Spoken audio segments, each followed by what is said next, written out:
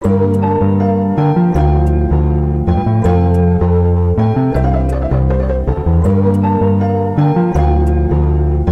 Production.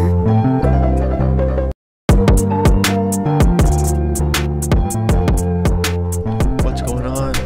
So we're going to go over bitcoin here. I'm going to try to post as many uh, crypto related stock breakdowns today use this video of bitcoin as a reference when i bring it up in other videos because i'm going to try to make just as many as i can. What we're looking at okay? Bitcoin on the weekly time frame this is just the regular chart. This is not the log chart. So what i want to kind of zoom into and pay attention to look at what happened back in this is uh March 2021 and then we have November 2021 every time that we got into this kind of zone here what was happening okay?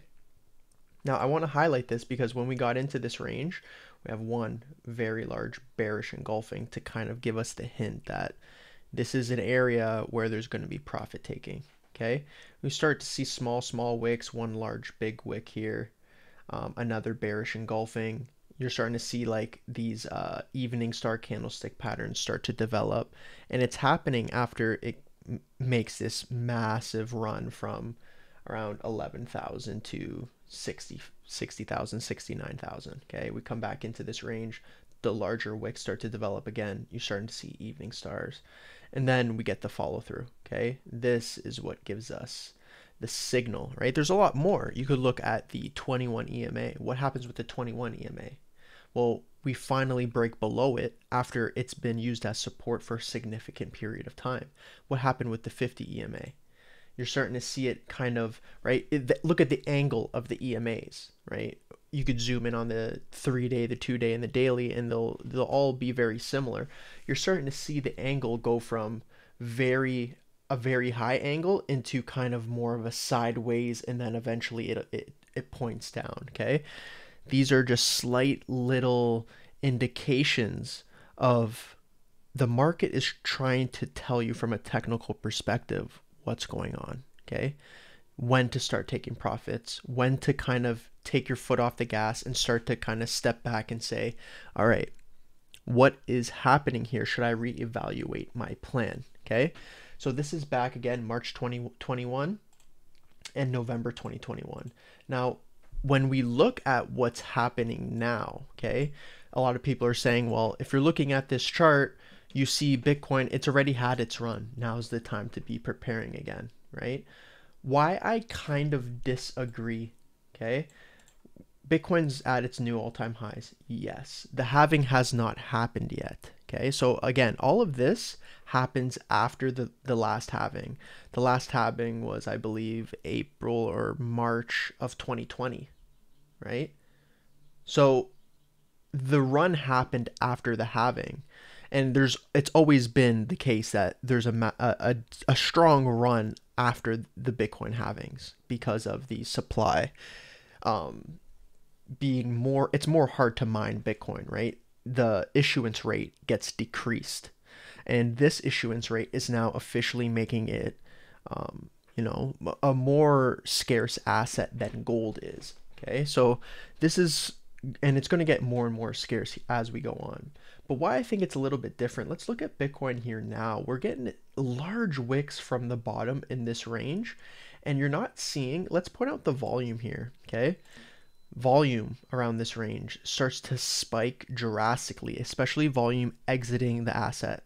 You're starting to see consistent red volume coming up in these levels, okay? Versus, again, look at the ratio of bullish volume coming into the asset as it runs up and then as we start to top out over here look at the the ratio switches where we start to see a lot more bearish volume kind of leaving the asset right what is happening here we're still in a very bullish volume dominant section of this chart.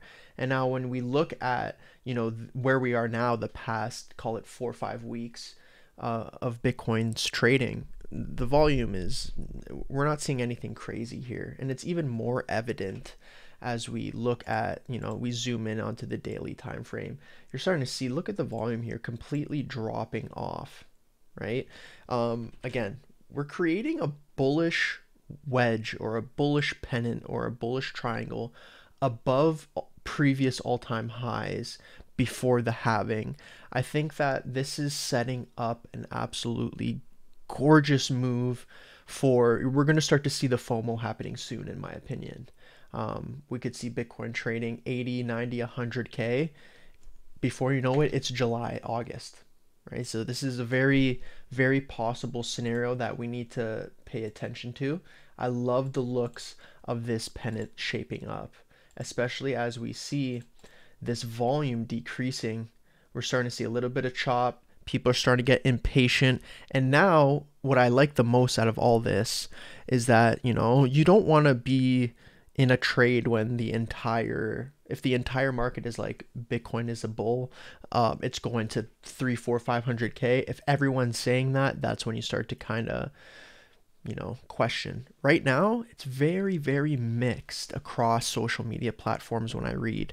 You're starting to see a lot of people, again, it, the, when you're reading on social media, you're reading a small, uh, almost like a echo chamber of, of opinions, right?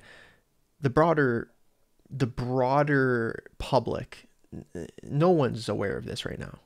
But when you do look at social media, you're starting to see the divide of the people who are in this niche. And you're starting to see people saying now might be the time to take gains. Now might be the time to take some off the table. Now, now might be the time where Bitcoin starts to top out. It already has had its run. And why I like that is because it's splitting up this trade idea. It's not everyone's a bull. And I think that that is important, especially when you start to look at, you know, what what is possible? What is possible for this bull run? Now, I'm going to start breaking down a bunch of these other crypto related stocks and what that potentially means for those assets because I do think, again, as the tide rises, all the boats will come with it. Um, it's about picking the boats that are going to perform the best. So, we're going to get into that in a bunch of those videos uh, up next. Peace, guys.